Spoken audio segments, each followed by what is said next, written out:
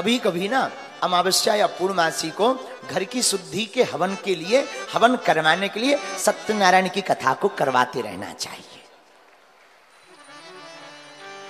हवन ज़्यादा बड़ा विधान नहीं कर सकते ना। धन ज़्यादा खर्च नहीं कर सकते रामायण नहीं करवा सकते, पुराण नहीं करवा सकते, गीता नहीं करवा सकते, कोई दिक्कत नहीं। आप सत्यनारायण की कथा करवाइए, बहुत कम खर्चा, फुल चर्चा। बोलो सीताराम। ज़ोर से बोलो। क्यों? ये चार दिन की ज़िंदगी है और घर की शुद्धि बहुत आवश्यक है, क्षमा करना। जो बताना था वो ये बताना था। घर की शुद्धि बहुत आवश्यक। घर में नकारात्मक ऊर्जा बहुत सताती। लोगों की गंदी नज़र मकान को देखकर लग जाती। ईर्षा की नज़र, जलन की नज़र।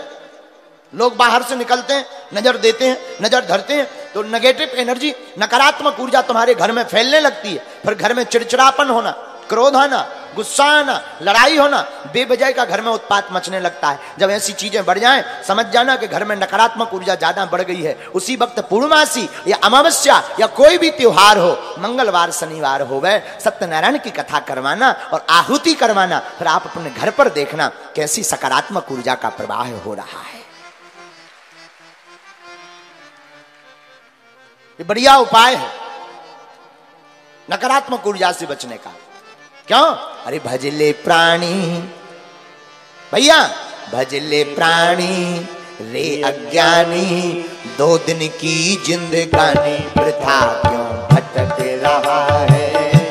वृथा क्यों भटक रहा है? ओ, भजले प्राणी, रे अज्ञानी, भजले प्राणी दो दिन की जिंदगानी वृथा क्यों भटक रहा है? वृथा क्यों भटक रहा है? ओ झूठी काया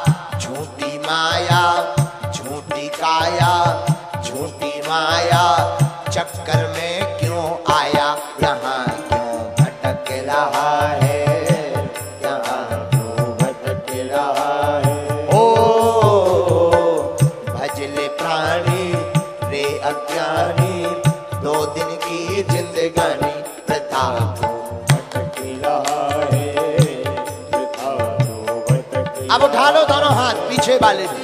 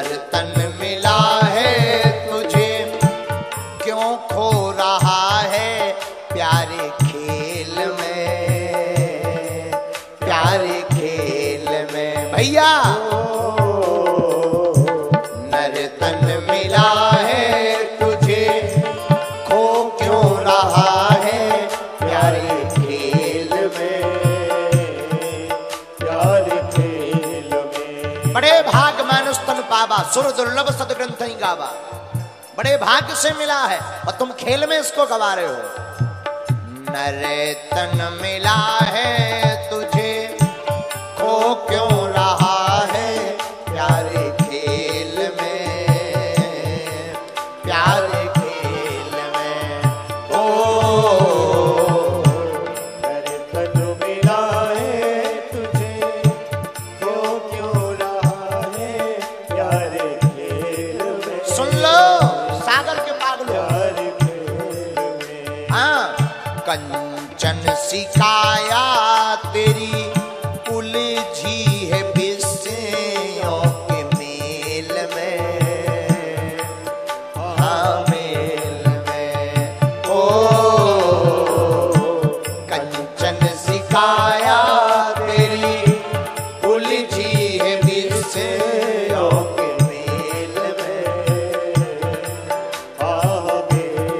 लिए कहना है। सुख और तारा वैभव सारा सुख और तारा वैभव सारा कुछ भी नहीं है तुम्हारा, यहाँ क्यों भटक रहा है? यहाँ क्यों भटक रहा है? सुख और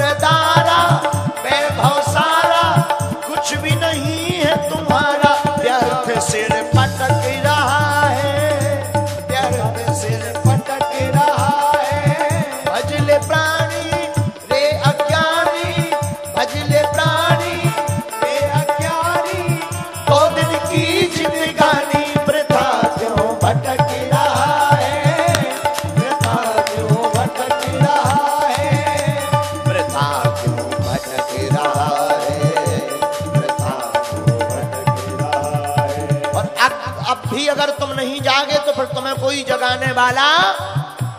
उठा लो दोनों हाथ जग जाओ, ये सब व्यर्थ है।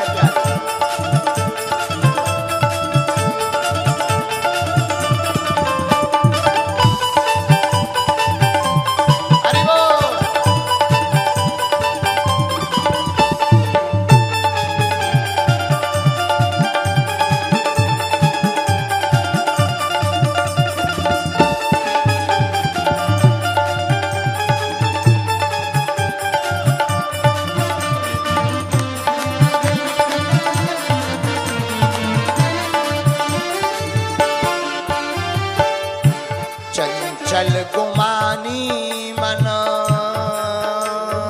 हो। चंचल गुमानी मन। अब तो जन्म को सवार ले। हाँ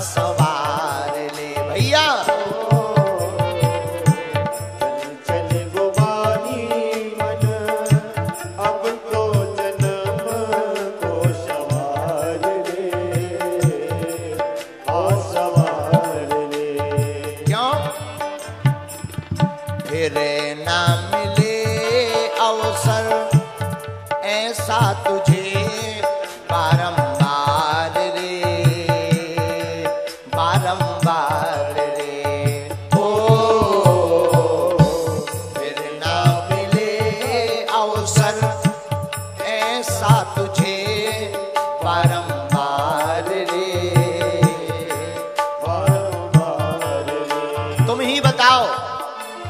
ऐसा अवसर लौटकर कभी मिलेगा? बोलो ना लौटकर नहीं मिलने वाला। जो बीत गया, सो बीत गया। पर आने वाला नहीं है। अब व्यर्थ में अपना सिर मत पटो। अब पागल मत बनो। अब एक तो एक काम करो।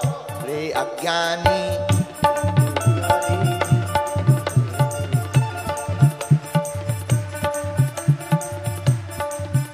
हाँ रे अज्ञानी। খাজনা